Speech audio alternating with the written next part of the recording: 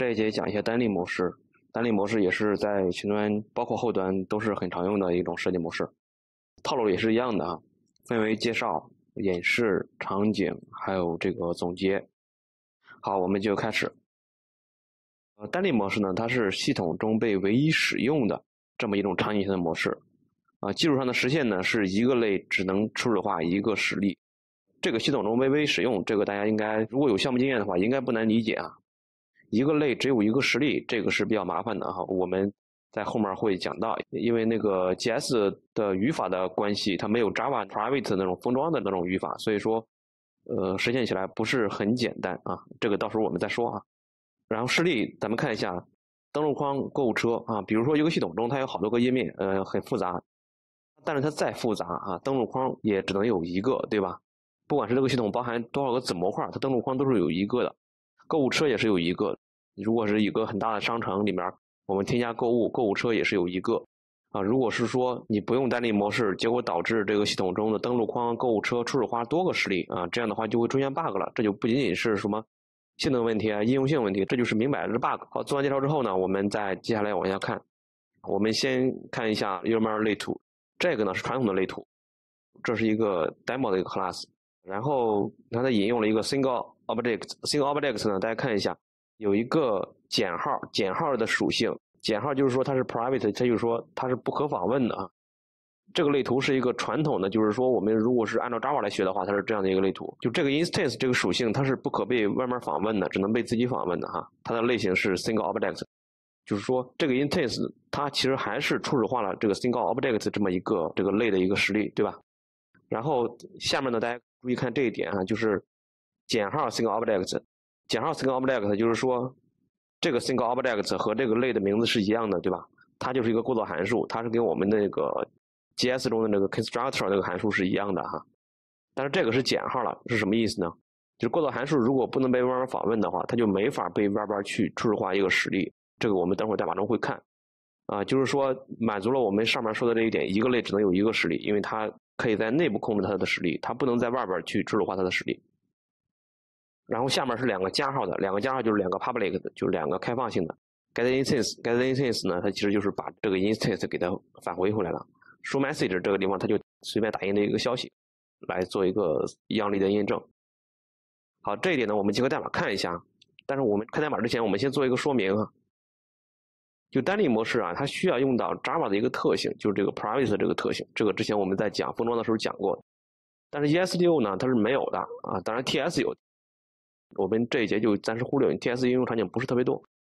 ES6 中没有啊，没有。这样的话怎么办呢？因为我们刚才看那个 UML 类图，它应该是强依赖于这个 private 这个特性，但 ES6 中没有，所以说我们只能用 Java 代码来演示这个 UML 图的内容啊。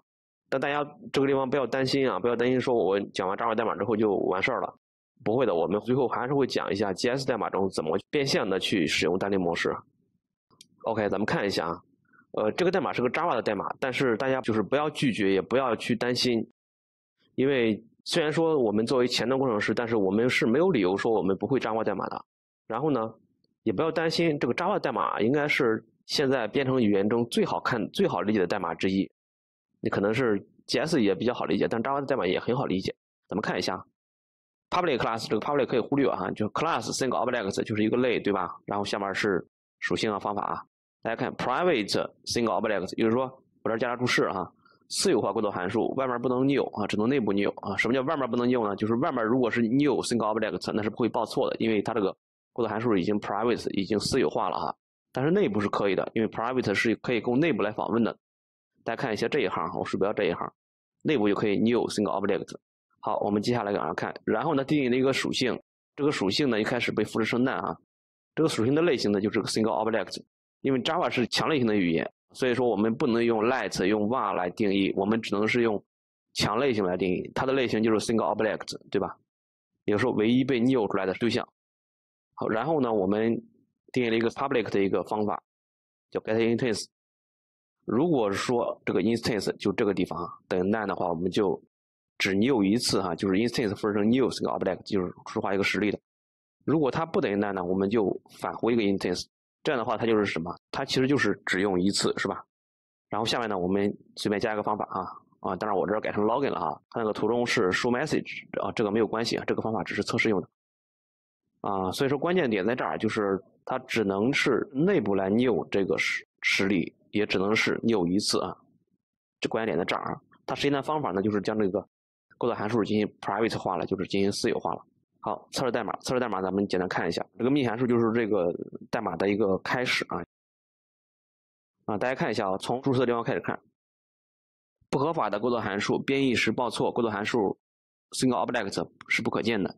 就是说，我之前尝试在这一行，你看 single object object 复制成 new single object，这样的话它会报错啊。我这上面也写了会报错，为什么会报错呢？就是因为我们这个构造函数已经私有化了，它外面是不能访问的，所以它会报错。这样的话就是保证了外面你没法初始化很多的实例，只能是初始化出唯一的实例。这个初始化的过程呢，就在这个 class 的内部哈。好，然后呢，下面是正确的用法，就是获取唯一可用的对象 single object object 复制成 single object 点 get instance 啊，通过这个方法来获取啊，然后呢就可以使用它的一些内部的方法了，对吧？我们来看一下 GS 中怎么去使用单例模式，是这样，我们先定一个。Class 这个跟 Java 是一样的，然后里面呢写一个 login，就是随便写一个方法，然后呢我们再写一个 class 点 getInstance，就在这 class 上呢我们定一个静态的方法，然后它复制成一个自执行函数，然后在这里面呢我们用 b 包去写一个 instance，然后 return 的一个函数，如果 instance 没有的话就初始化一个，如果有的话就直接返回，这样的话也能实现，就是说我们直接去访问这个 single object 点 getInstance，它也是一个。单例，但是呢，我们不能做的是什么呢？我们不能做的是，我们这儿只能去靠文档去约束，不能去 new single object。就是我们这儿如果是不说，大家不知道的话，直接去 new single object，它也不会报错，但是它使用上就有错误了。所以说这个地方没有 Java 那个限制。好，我们就代码演示一下，一边演示一边说。